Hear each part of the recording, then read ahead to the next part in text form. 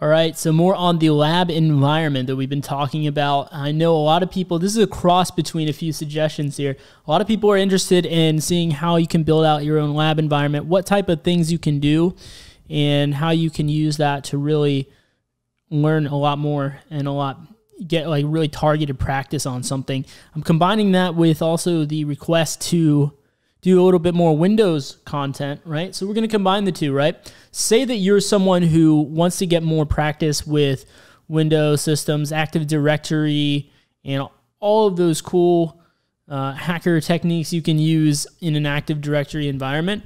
Well, you can bring uh, a Windows server into your lab, right, and set up Active Directory yourself and conduct various attacks. So let's just get started with that. I am starting from scratch, just like all of you guys here. I do have some Windows systems, but they're just Windows 10 boxes, Windows 7 here.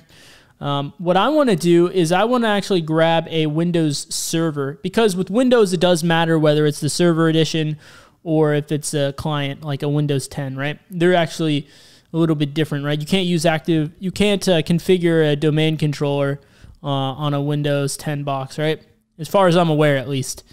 Uh, so we're going to grab Windows Server 2016. That is probably the most standard version you'll see uh, in a corporate environment or in, in the real world right now. They are rolling out Windows Server 2019, but uh, we're going to do 2016 here because that's still the standard. It'll be a while till we see a lot of Windows Server 2019 most likely. So what I would search for is I can search for uh, Windows Server.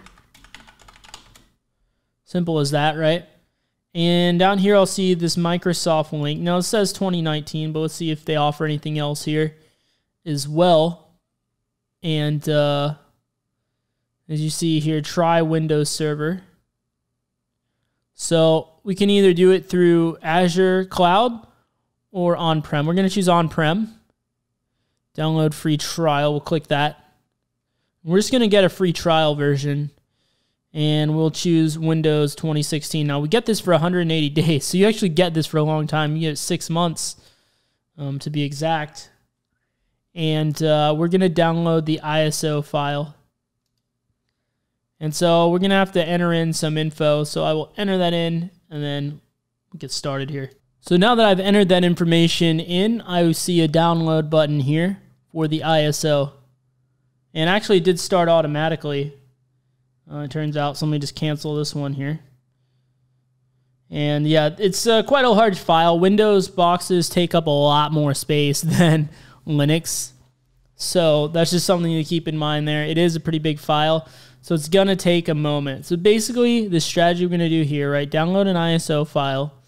And we're going to uh, we're going to create a new machine in VirtualBox. While we're waiting, we'll get started on that. So we could say Win 2016. So I created a new folder to store it in, and then we will say Windows. It already actually defaulted to the correct info here. Now, with Windows boxes, you always need to give it more resources than Linux. So we'll, I have quite a bit of RAM here. I'll give it 8 gigs in this case. We'll have it create the virtual hard disk and 50 gigs I think should be okay here. Hopefully we're going to recreate it down the line, but uh, yeah, we'll get started with that. Now, the next thing we need to do is once this does complete, we need to connect the uh, the ISO. We need to mount it. So we'll go to storage, and we'll see. We should see an optical drive where we can mount it.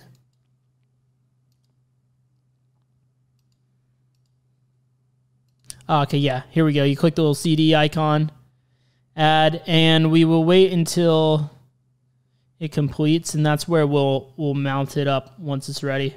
And another thing to mention is, you know, I do have these other Windows 10 boxes. I can actually add them to my domain. So this this box here can be my domain controller, and I can have uh, a bunch of user create a bunch of user accounts and use these Windows 7 boxes and 10 box here to be part of that domain. So just thinking ahead here of how I can demonstrate different things, how I can set up my lab. And you could definitely do the same, right? You can go on Microsoft and download. Uh, to the way I got Windows 10 was a Microsoft Edge trial. So you could download a Windows 10 VM. So you could just download a bunch of those and, uh, or even just one of them, and you can use that as part of your Windows domain. So this has completed now. So I click the plus sign on the CD icon here, and we're going to refresh. And in this case, we're still not seeing it. So what we're going to do is we're going to say add and find it right here in downloads. So we select this, choose, and now we see it here. And we can get rid of this empty thing here. And now that's going to basically simulate as if the Windows CD was in our disk tray when we start this up. Because we need to install the operating system, which is normally pretty straightforward, but I'll show you guys how to do that. And we're just kind of clicking through. And another thing to note is that we can't really full screen this yet because we didn't install VirtualBox guest additions in order to get the full screen support and things like that. So it is going to be a bit small right now, and I can't really do much about that. So apologies for you guys viewing at home if it's really difficult to uh, to see my screen. And unfortunately, the cursor, okay, it was super laggy there. It did once I clicked it, kind of corrected itself. All right, and so when I get here, this is where it really matters what you choose. Now it defaults to because this is my second go around. The first time off camera when I when I chose this one it will install without a GUI. So all you get is the blinking Windows command prompt. That's it. Now, if you choose desktop experience, then you'll actually get the GUI that you're used to, right? It even says in the description. So sometimes we have a tendency to click through, right? So really pay attention to what you select here. This is the one we're going to want, right? Useful when a GUI is required.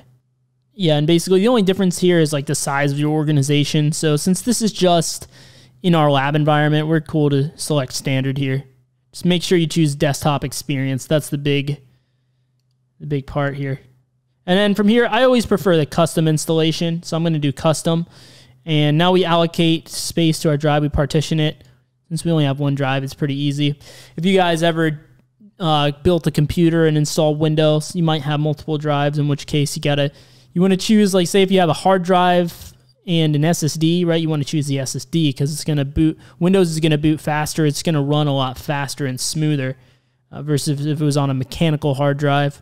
But of course, we don't have to worry about any of that in this case.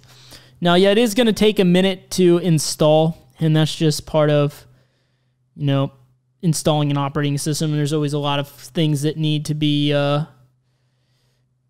downloaded, installed, and whatnot. So what you're going to notice is it's going to restart my VM multiple times.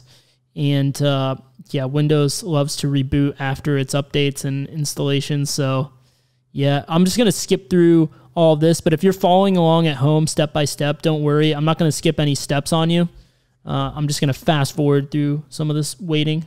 All right, so after a couple reboots, it brought me to this screen where I, all I need to do is set a password and confirm the password.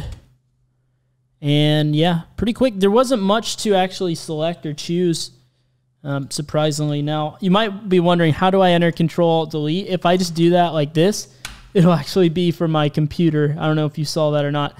What you want to do, you can come up here to Devices and, uh, or Input rather, Keyboard, and then insert Control Delete. I think there's multiple ways to do. There's other ways to do it as well. That's what I typically do. And now I'll just put in my password and I have logged in as the administrator account. Now, there's some maintenance work we are going to want to do, like installing guest additions so that we can get this in full screen and it'll make it a lot easier on everyone to see. Now, it might just be black screening here because I'm trying to full screen it. Sometimes that happens. No, it's just a little bit slow here. Um, but yeah, as you see here, this is what we have. Looks a lot like Windows 10. Um, as I'm sure you guys probably noticed here. And we're probably going to need to allocate it a little bit, like another CPU or something like that could run a little bit better. But yeah, we can click here. If you notice, this is what's unique about the Windows Server, right? We have the Server Manager uh, dashboard here. And you may have seen it before if you have worked in IT and interface with some Windows systems. This is what a Windows Server looks like basically. It has this manager. And yeah, we're definitely going to need to give this a little bit more power because it is pretty slow at the moment. Nothing surprising there. Windows VMs require a lot of resources. But yeah, it, it gives you all kinds of options here. And through this is actually how we can uh, set it up as a domain controller. So we're going to do that in a, in a future video. Let's just finish off by, this is what I would do, right? Say I, I did all everything that I did, right? Now I want to I want to optimize this so I can full screen this, right? You don't want to see me doing this whole series in this tiny window, I'm sure. So what I can do is click devices and then say insert guest additions CD image. I'll minimize that.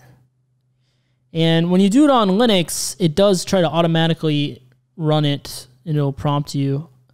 Uh, it should do that here as well. It's probably just being slow because, yeah, this is not very fast. so when I clicked that, it didn't actually prompt me for anything, but when I opened my Windows File Explorer and I expanded this PC, I do see VirtualBox Guest Additions here. So I'm going to double click that and run the installer here, just the regular Windows additions. Uh, this should be the 64-bit version because we do have a 64-bit operating system. If I'm not mistaken now. Okay, yeah, this is only going to take one gig. At first, I thought it was going to take 38 gigs. I was like, that can't be right. Uh, but uh, yeah, we'll just set it up with all this. Everything, we'll run everything default pretty much here and allow it to install whatever it needs.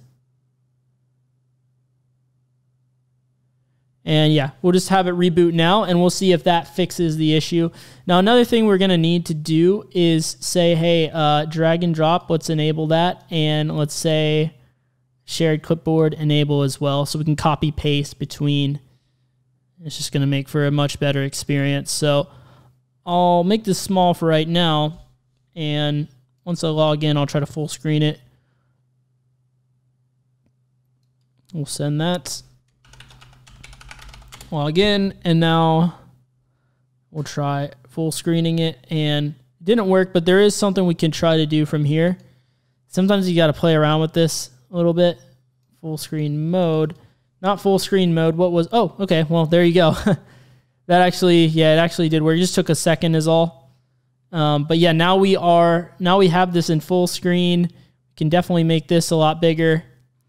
And yeah, sorry. Uh, Apologies if you had to bear with me through this installation. Everything was really small. There was not really much I could do about that until I had guest additions installed and I had to install the OS first. But yeah, here we are. We have this um, dashboard here. And through this, like I said, is where we will be installing this as a domain controller.